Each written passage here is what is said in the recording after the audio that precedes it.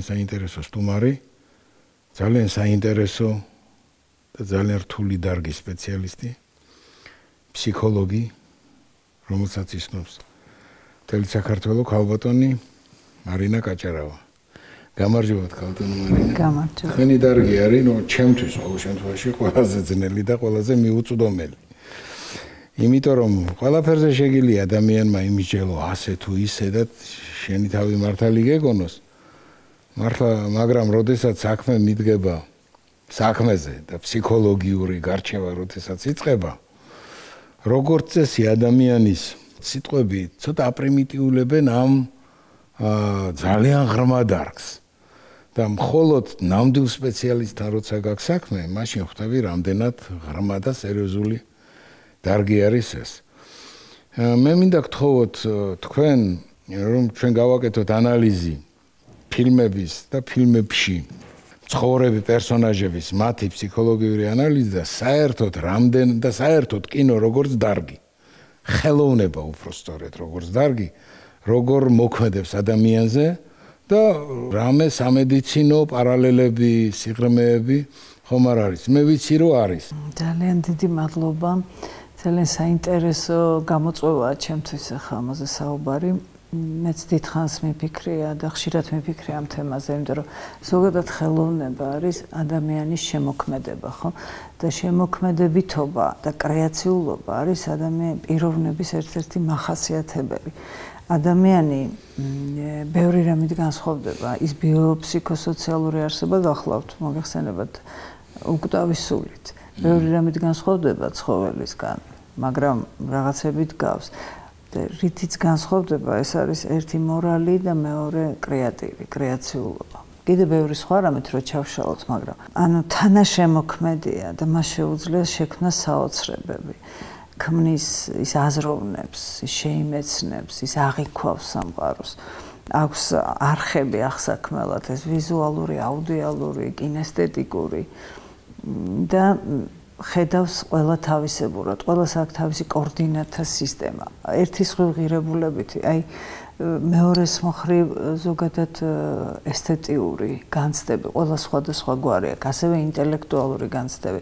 ადამიანები ძალიან განსხვავდებიან ერთმანეთისგან, თუმცა რაღაც სტანდარტებზე ზოგჯერ თანხმდებიან იმის გამო, რომ არ მოხდეს, ვთქვათ მე, იქ გარკვეული აღრევა.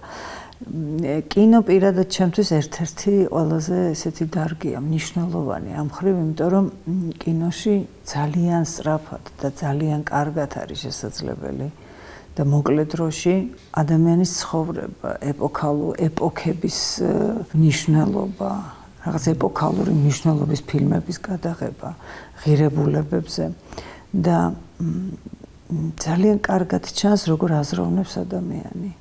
აი თქვენ ბძანეთ რომ ფსიქოლოგი არ ვარო. თქო მაგრამ არ არსებობს რომ არ იყოთ ფსიქოლოგი იმიტომ რომ რეჟისორი არ შეიძლება არ იყოს ფსიქოლოგი იმიტომ რომ თქვენ ისეთ რაღაცები ისეთი წვდომები გაქვთ და ისეთ კავშირებს აკეთებთ. ნებსით თუ უნებლიეთ და ისეთნაირი აი განლაგებას და მოზაიკას აკეთებთ რომ ეს არის სწორედ პალიტრა რაღაცნაირი სწორედ ფსიქოლოგიური და ზოგადად ხელოვნება არის ადამიანის აზროვნების ისტორია როგორ ხატავდა დაწყებული გამოქვაბულში დამთავრებული დღემდე როგორც აზროვნებს ისე ხატავს. როგორც აზროვნებს ისე წერს. აა თქოთ როგორც აზროვნებს ისე იღებს ფილმს. ახლა თეატრი უფრო ის არის რასაკვირველია ხანდაზმულია ვიდრე კინო და ფოტოგრაფიაც მაგრამ ყოველ შემთხვევაში როგორც აზროვნებს ისე იღებს ფოტოსაც ხო როგორც ხედავს.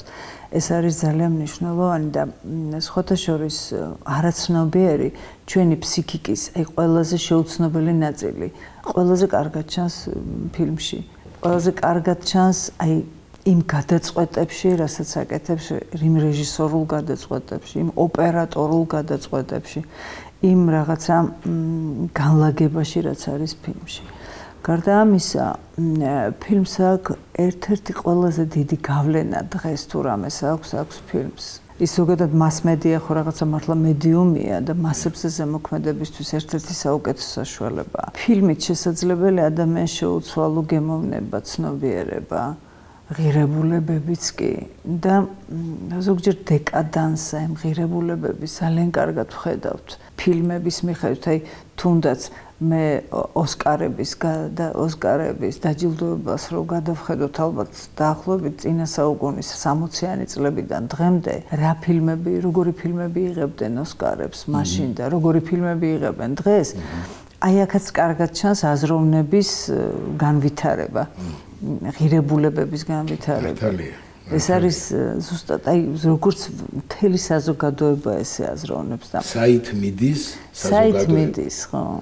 კინო გაჩვენებს ამას ერთი სხვა გაჩვენებს აქ ციკლი იკვრება იცით? ეს ხო გავლე ეს ხო წრე არის რაღაცა წრეზე დავდერთ აი ერთი სხვა კინო ახდენს გავლენას და მეორე სხვა ის ასახავს რეალობას. და მას შეუძლია ახალი ტრენდების ახალი მიმართულებების მაგალითად დაწესება რაღაც დაკანონება და მოდაში შემოტანა. აი მე მახსენდება თუნდაც ერთ-ერთი ძალიან ცნობილი ფილმი ერთხელ ამერიკაში რომელიც გახდა ძალიან მე ვიტყოდი საბედისწერო ამ ფილმ ამ ფილმმა შემოიტანა რაღაც გარკვეულად ეს მაფიის და ქუჩის თემის რომანტიზება მოხდა. ხო კი. საოცრად კარგი ფილმია ზოგადად და ბევრი სხვა ღირსება აქვს მას მაგრამ აი თქო ის რაც ამოიკითხეს და რაც იქნა ამოკითხული და რაც იქნა აქედან ატაცებული იყო ერთ-ერთი ესეც რომ აი ეს თავისებური მეგობრობა რომელსაც შეიძლება მეგობრობა ვერ ზავარქოთ ხო მაგრამ ის რაც ქონდათ მანამდე და მე ამისი რომანტიულად მოწოდება. ან რომანტიულად მიღება მოხდა და მოდაში შემოვიდა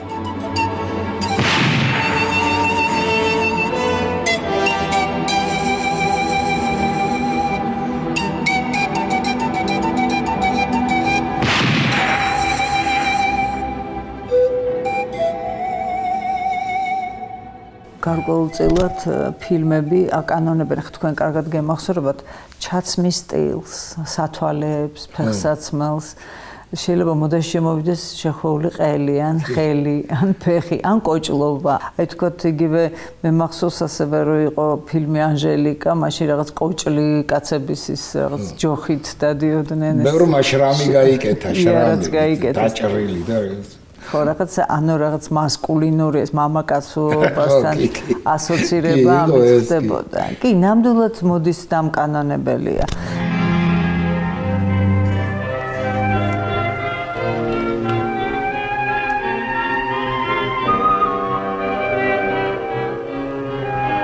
და აქედან გამომდინარე საოცარი ძალაუფლების მქონეა კინო.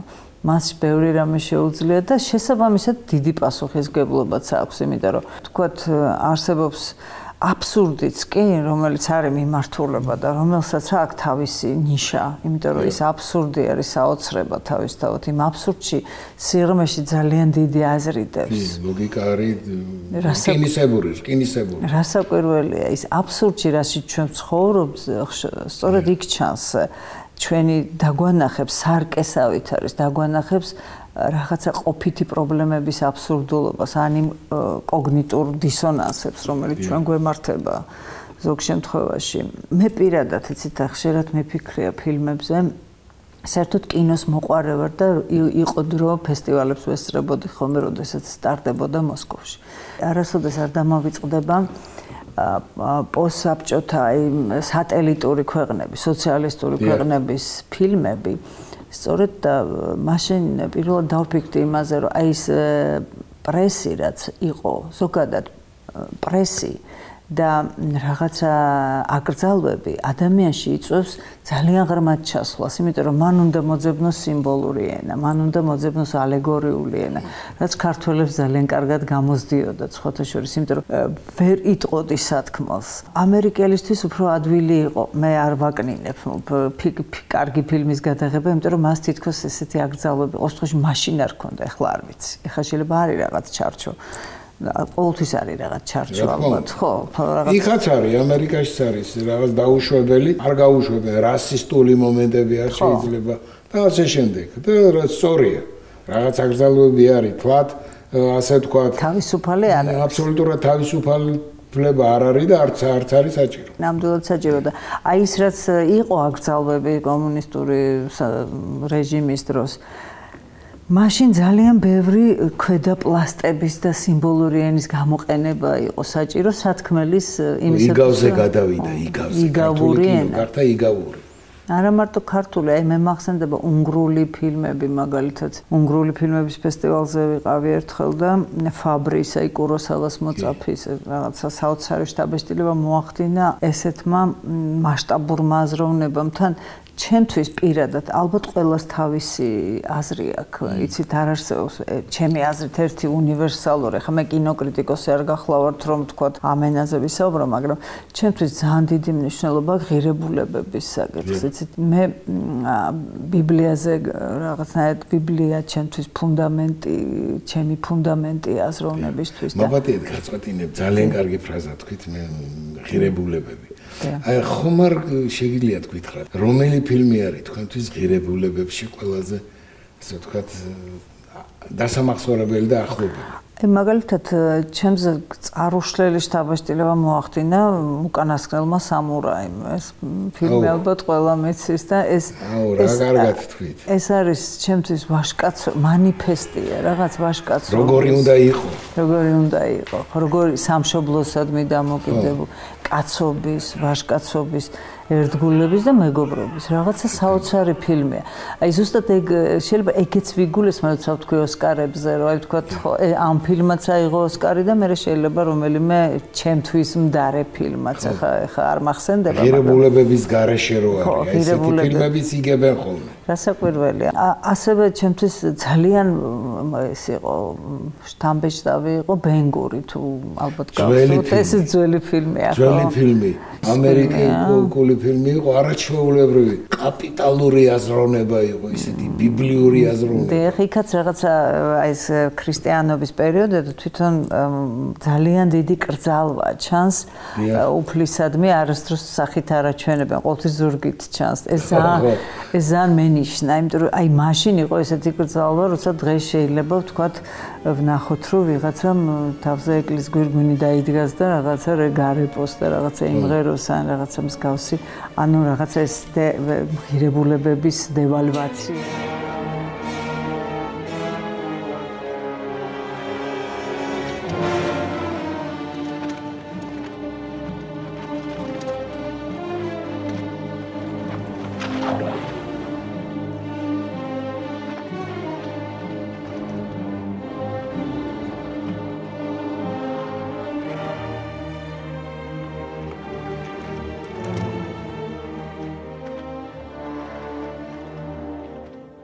თქვენ ბევრი მაგალითის მოყვანაში შეგიძლიათ ღირებულებების მხრივ ქართული კინოს საუკეთესო მაგალითები რო ორგონიეთ. საერთოდ ქართული ფილმები ჩემთვის არის ძალიან გზნობიარე ვარ მე ქართული ფილმების მიმართ, იმიტომ რომ აი ეს ტკივილი ალბათ ის ძალიან ჯერთი ზოგად საკაცობრიო ქართული ფილმი გაცდა ქართული ფილმის თქოთ ეს არის ლოკალური კინემატოგრაფია, რომელიც არის ერთი ერთი პატარა ქვეყნის კინო. არა ეს აშკარად ზოგად საკაცობრიო ღირებულებებს ეხება.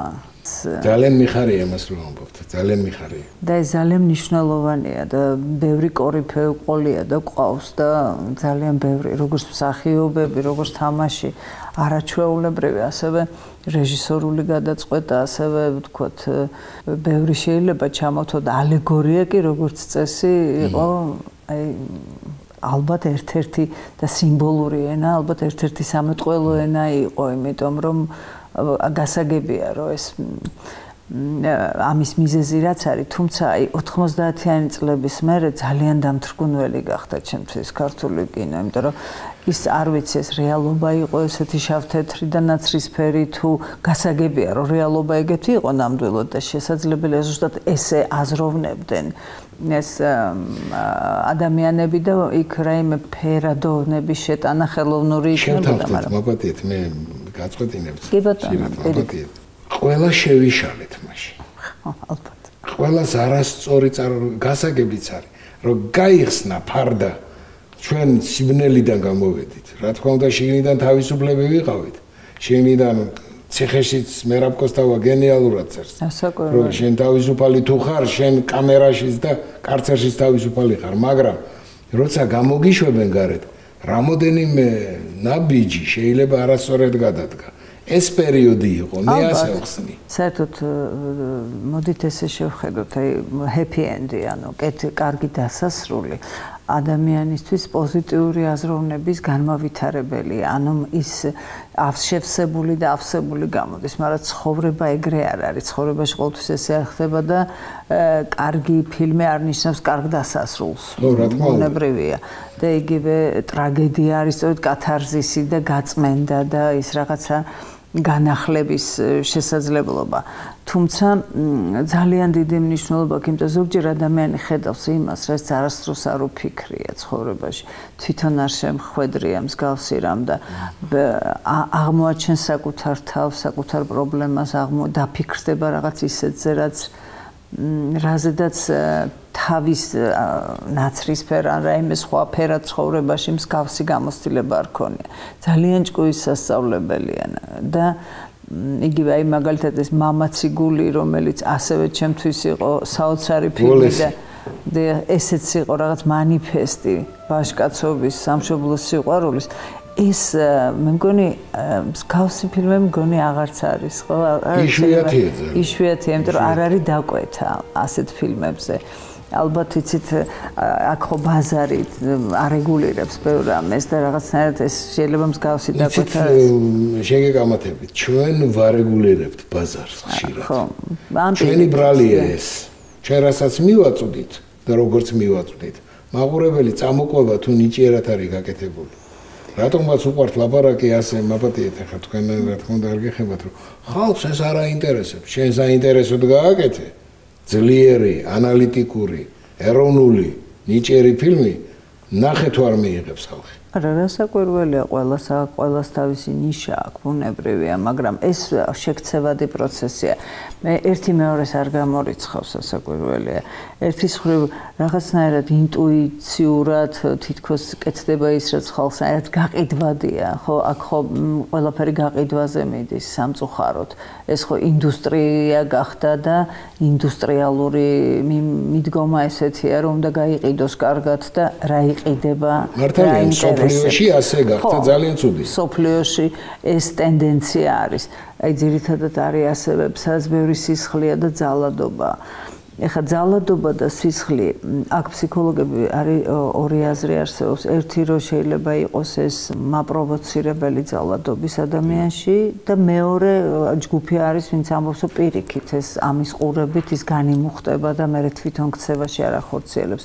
ესეთი ექსპერიმენტი ჩაატარეს ბავშვებსაც ჩვენეს მულტფილმი სადაც იყო ცემატყება და შემდგომში ამ ცემ გაიყვანეს გვერდზე ოთახში და იმ მულტფილმის გმირები იყო ოღონდ რბილი გაბერილი სათამაშოები და ისეთი ამბავი ატეხეს. ბავშვები პირდაპირ კოპირება გააკეთეს სიმქცევის და ეს ცემატება აგრესია აგრესია ეს აგრესია გადაიტანეს რეალურ ცხოვრებაში. აი აქედანაც კარგად ჩანს ესე იგი რამხელა გავლენას ახდენს და რამდენად კოპირება ხდება იმ გარკვეული ქცევის. მე არ ვიცი თქვენ როგორ მიიღებთ მაგრამ არ შემიძლია არ თქვა ერთი ორი ტენდენცია რომელიც ჩემთვის მეუღებელი იყო იგივე ქართულ კინოში რაც ეს იყო, არ ვიცი, ალბათ დაკვეთა იყო ამის ცოტათი მასხრად აგდება და რაღაცა ესეთი გამოყვანა, იგივე, თქვათ, ბევრი კარგი ფილმიშიც სასულიერო პირების, ან თავადაზნაურობის, ან რაღაცა რა თქმა უნდა დაკვეთა იყო. ეს იყო დაკვეთა, სადაც აი რაც შეიძლებოდა უნდა ყოფილიყო ყველაზე სასაცილო და ყველაზე უარყოფითი გმირი. ეს ესეც ეს დაკვეთა ხომ მუშაობს ბუნებრივია. უკვე ის ნიჰილიზმის მაყურებელში ნიჰილიზმს იწევს რაღაც უნდობლობას. ებრაელებს აქვთ ესეთი რამე ნათქვამი და გავიმეორებ რომ ხშირად უნდა იქო თავიო მსმენელს ავიწყდება ვისგანო მაგრამ კარგი რო იცის შენზე ახსოვს რაღაცა კარგი იცის და საიდან არ ახსოვს და და იცით, აი მუდამ რო ცუდი გესმის, მე ისუ რაღაცა ცუდი იცი იმაზე და საიდან იცი არ გახსოვს. და ეს ცუდი გახსოვს.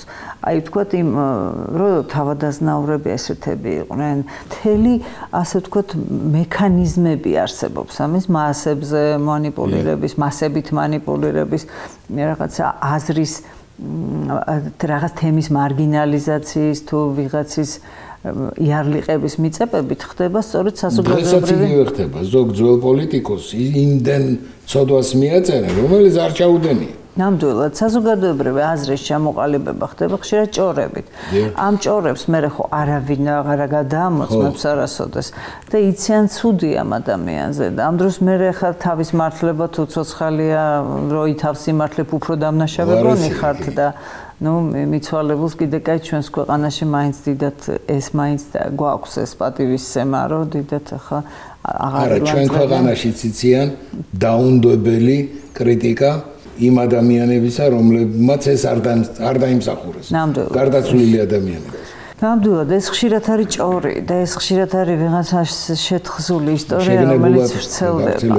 აი ფსიქოლოგიაში არსებობს ესეთი მაგალითად ექსპერიმენტი, რომ აი 20 კაცში რო ჩაატარო ერთი და იგივე ტექსტი, მე რო თქვენ მოგეყვეთ და ასე გაგრძელდეს ეს და ბოლოს ჩემამდე აბსოლუტურად სხვა რამე მოვა. საკუთარ ტექსტს ვერ ვიცნობ, საკუთარ ნათქვამს ვერ ვიცნობ. თქვენ კარგად იცით, რამდენი ფილტრი იყო და რამდენიერი გადასინჯვა იყო, ის არ შეიძლება და იგივე გია დანელიას ფილმში მახსოვს ეს მიმინოში რაღაც იმას რო უჭრიდან თელავივის ეს მას მისი მოყოლილია რომ მიჭრიდენო ამასო თელავი თელავში რო ხდება თელავში რო რეკავს და თელავივში ხდება და რაღაცა დეპრესიაში ვიყავი ორი, იმიტომ რომ ამის გარეშე ფილმი ვერ წარმომედგინა. ხო, რაღაცა ორწუთიანი მონაკვეთია, მაგრამ ძალიან ძალიან ნიშანდობლივი და სახასიათო ჩვენთვის, ხო? მოგდება უნდათ ამ სცენის имат цензурас, მაგრამ გიამ კბილებით გაიტარა. რატო გაჩუმ? Почему ты замолчал? Я плачу. არდაკი დორა не вешай. ჩვენ ზე ცუდი რამე თქვას გული გაუპოს დალავა.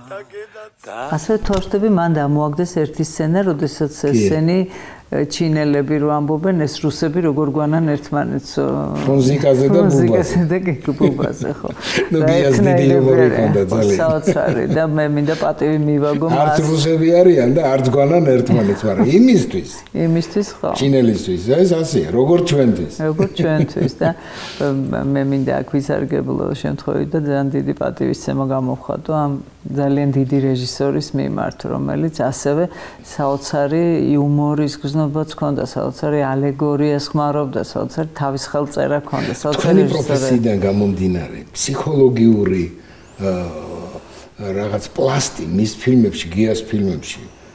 როგორ არა საოცარი ფილმები აქ ახლა არიდარდო შედევრი არაჩვეულებრივი ფილმია მიმინოც ასევე პასპორტიც და თავისი ხელწერა აქვს მას. იქ არის აი ადამიანის ყოფიერების, ცნობიერების პრობლემა, რეალიზაციის ასაზრისის რა არის მისთვის, რა აირჩიოს, რა ჯობია მისთვის, თუნდაც ამ იმინოში, ხო, რაღაცა როგორ იუმორისტულად არის თითქოს მოწოდება. დანელია ცდილობს სცენარის წერის დროს. ადამიანი ჩააგდოს ძიმე სიტუაციაში. ანი იქ იქ იქამდე მიიყვანოს, რომ ის ვერ ასრულებს იმას, რაც უნდა, ვერ ხდება პილოტი. ბუბაკი კაბიძის გმირი და ამიტომ აი აქ იწება მისი ფსიქოლოგიური ასე ვთქვათ და საზრისის თემა და ღირებულებების თემა შემოდის ისევ სამშობლოში დაბრუნება და სამშობლოსთან სამშობლოს მსახურება რაც ვთქვათ. გახთა პილოტი მაგრამ მაინც ისე ძახის მაინც დაბრუნდა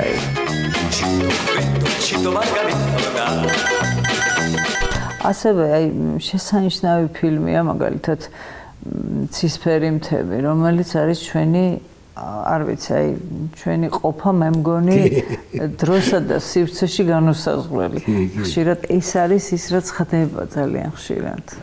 სახელმწიფოშიც, სამსახურშიც, შეიძლება ოჯახშიც, სრული ქაოსი, სრული აბსურდი, სრული მარადიული მარადიული თემა. დაგმეთქვი ახალ. დავადგინე ყევის მიზეზი. მე?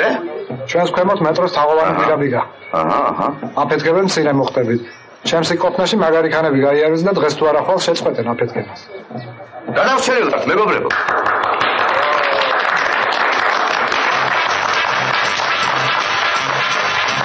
დაგაგე. დაგაგე. ვერ გავაგებინე. ეხლა რა. გააჩერე, კაცო, გააჩერე, გააჩერე რა.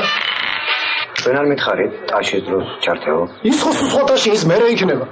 ხო, ამ დროს როგორი თითქოს სხვათა შორის გაკეთე სხვათა დიდი რეჟისორები სხვათა შორის აკეთებენ. ფილმებს და სცენებს. სხვათა შორის არ არ- გაწუხებენ. ასე არ შემიძლია რა ვშე ბაბულოვანის ფილმებიც რაღაც თემურის ჩემთვის. ფილმები ყველა ღრმად ფსიქოლოგიურია. ძალიან ძალიან და იქ მუშტია შეკრული ფილმები აქ ისეთი რომ ასე უყურებ. აი რაც არ უნდა სპეციალისტი და დიდი ის იყო რა გამოცდილების კაცი. უყურებ როგორც ბავშვი ნერვიულად და განისთი ყოველივე სიტყვას